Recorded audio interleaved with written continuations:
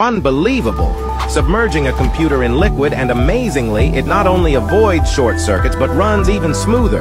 This isn't just regular water, it's a special insulating liquid called fluorinated liquid. It's non-conductive, so it's perfectly safe to touch the computer components, and it also cools efficiently. This technology is called immersion cooling, which cools 20 times faster than traditional air cooling, making it ideal for handling the high heat generated by processors and GPUs. The liquid may look like it's boiling, but the temperature is actually low, as it has a very low boiling point. When the computer heats up, the liquid vaporizes and rises, then condenses into droplets when it hits the condenser, returning to the liquid pool for reuse. No waste. This technology not only improves cooling efficiency, but also significantly reduces energy consumption and noise, making it a perfect solution for data centers and high-performance computing.